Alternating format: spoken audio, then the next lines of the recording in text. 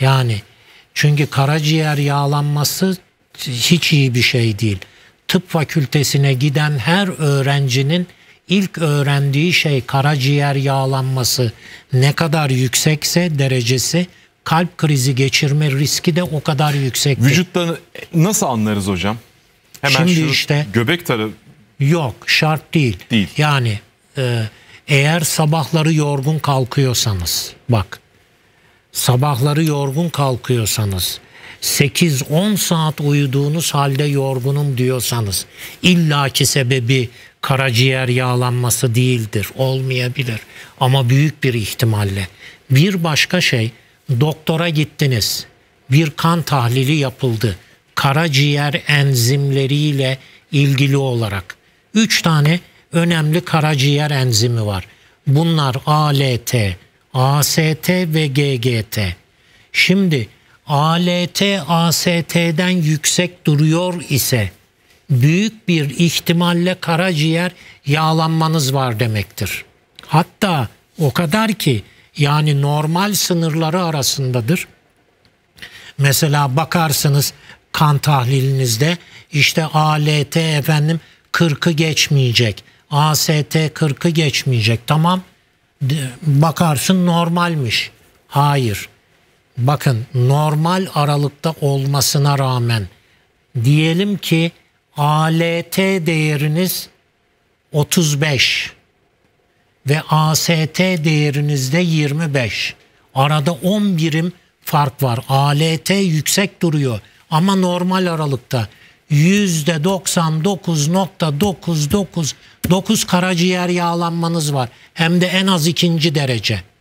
Doktorunuza gidin ultrasonla da baksın teyit edecektir.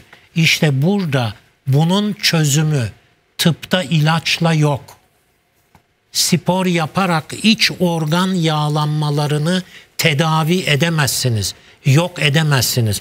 Karaciğer veya böbrek yağlandıysa, kalbiniz dıştan yağ bağladıysa spor yaparak o zaman millete stent takmaya gerek yok. Hüseyin spor yaptır. E biraz da zayıflat. O zaman e, damarlardaki e, yağlar erisin veya kalbin dıştan yağ bağlanması erisin. İç organ yağlanmaları kalp gibi, böbrek gibi, karaciğer gibi risklidir. Mutlaka çözülmesi lazım ve bunun ilacı yok. Ama karaciğer yağlanmasının ilacı var. Maydanoz limon. Kurban olduğum Allah. 16-17 tane kızımız yapacaktır onu. Maydanozu alıyorsunuz. Küçük maydanoz elinizle koparın. Bunu robotun içine atıyorsunuz. 16-17 tane. Köy maydanozu. Köylümüzün pazar yerine getirdiği. Evet Serpil. İşte o kadar kızım al onu. Saplarıyla beraber ama. Atıyorsunuz. Üzerine tam bir limon sıkıyorsunuz. Tam bir limon da iki yemek kaşığıdır. Bir bardakta su robotu çalıştır. Blender'ı çalıştır. Hani blender dediğimizde şu sütlü muz makinesi var ya. Tamam bir, bir buçuk dakika çalışsın. Yem yeşil su halini alacaktır. Bunu sabah aç karnı içeceksin Hüseyin. 15 gün. Eğer ikinci, üçüncü derece varsa 15 günden sonra bir 5 gün ara verip ara. tekrar bir 15 gün yapın. Bak daha üçüncü, dördüncü bilemedin. Beşinci gün sabahları zinde kalkmaya başlayacaksınız.